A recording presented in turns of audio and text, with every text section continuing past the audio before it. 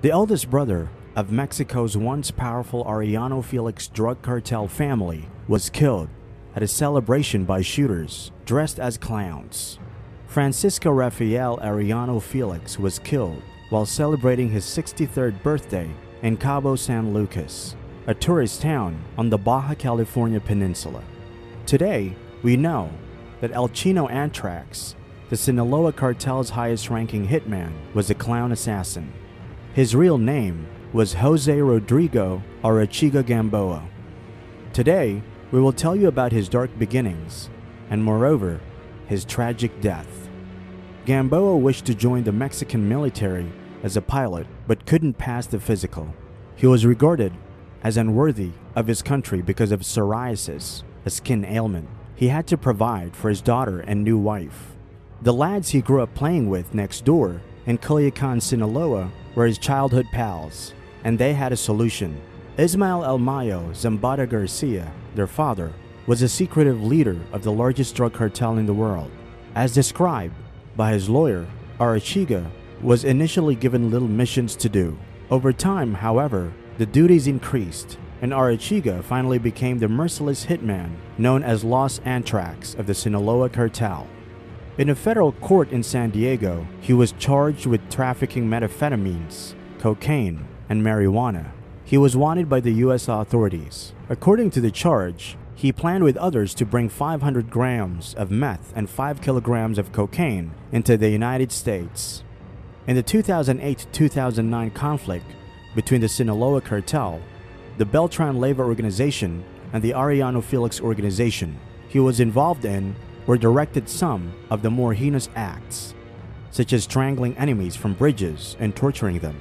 Doesn't that sound heartless? Arechiga Gamboa was well known for his vibrant social media posts, in which he was allegedly seen posing with expensive accessories, jewels, and a fleet of fancy cars. His muscular physique, protein consumption, and fitness routine were regularly displayed on his Instagram page.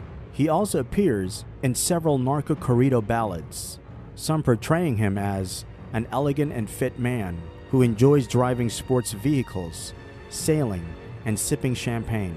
Even while his face was always hidden in his social media posts, he most often wore the skull shaped diamond ring as a nod to Los Antrax and a way to identify himself.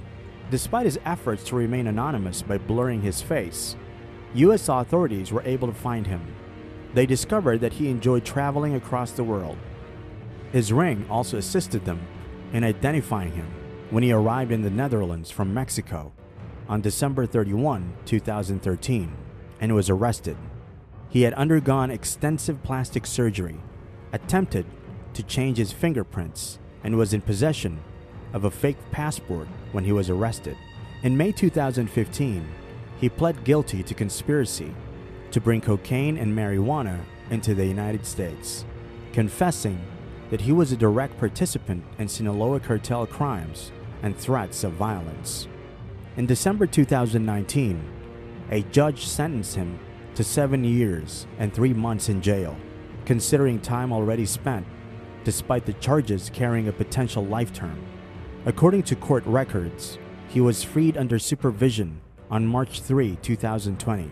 He was reported missing from his home on May 6, 2020 by a parole officer. Gamboa has a history of going to great lengths to avoid being apprehended. Prosecutors have referred to him as one of the highest ranking Sinaloa cartel kingpins ever prosecuted in the United States. Do you believe he was a real puzzle throughout it all? But a few months later, after he escaped from prison and returned to Culiacan to live with his sister and her husband, on May 14, 2020, at night, Arechiga, his sister, and her husband were inside the house when a large group of men came in and began firing at him. Arechiga fired back, but soon ran out of ammo, and they were all held hostage. The bodies of Arechiga, his sister, and her husband were found in a black SUV, wrapped in cloth and with plastic bags over their heads. They had all been murdered by gunshot and tortured. The execution of a prominent Sinaloa cartel enforcer who had recently fled to Mexico from U.S. detention raises the question who benefited from his death? Gamboa's brutal execution, which took place deep inside the criminal group's stronghold, raises the possibility that the hit was an internal decision by the group's top leaders.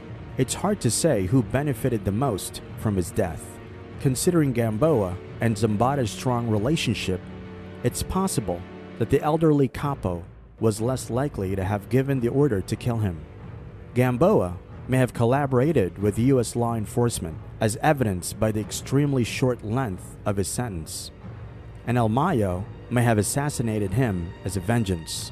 The execution, however, probably benefited Guzman's sons Los Chapitos the most because it eliminated a possible key ally of Zambada.